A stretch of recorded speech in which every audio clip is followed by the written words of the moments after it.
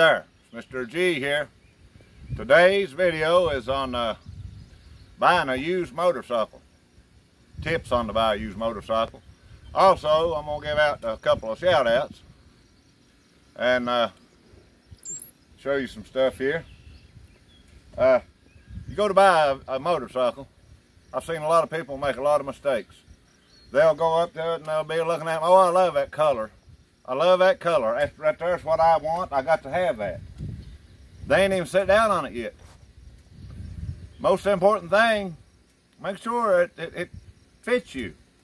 Uh, a lot of these bikes, are, yeah, they're sharp. They're nice. Myself, uh, I've got some issues with my back and my neck and what have you. I've had a lot of broken bones. And uh, I can't handle these old heavy bikes. I just can't do it. Anyhow, you got to get the bike fits you. One of the most important things is uh, if they don't have a lift, which here's what I recommend you do. Take your mirror. That's right. Put that mirror down here. Check that baby out. Check for leaks. You know what I'm saying? Uh, you you ask them, hey, does it leak? Oh no, nobody. These Harleys have been known in the past to mark their ground. You know what I'm talking about. It used to be they'd vibrate everything on them loose. They've changed them a lot. And you got to watch who you buy it off of. They was a salesman, sold used motorcycles. And I went out to see him and he said, uh, that's why you got here. He showed me all this. He said, hold on just a minute. He told that guy, to go on and ride that. He said, I, I, can test ride it. He said, oh yeah. He said, you're going to love it. He said, you're going to love it. He said, I can see it right now. It's yours. He's taking her for a spin. Man, it wasn't but a few minutes, phone rang. That guy said, hey, this bike's broke down on me. I said, oil level words, it's quit. And that salesman told him, said, you know, so that never happened what time I owned it. I said, I gotta go, pal.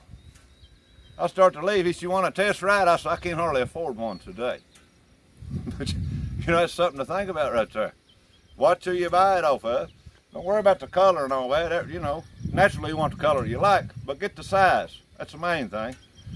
Make sure it ain't been scuffed up and this and that. And, uh, you know, see if it's got a service record. If it, if ain't kept it serviced, you ain't getting much. You know what I'm saying?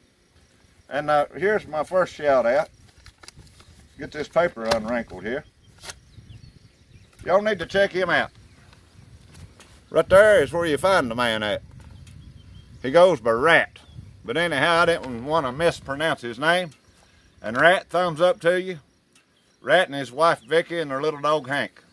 They got on my motor home. They out here going around traveling and making some very interesting videos. Thumbs up to you, Rat. And I'll tell you about old Rat.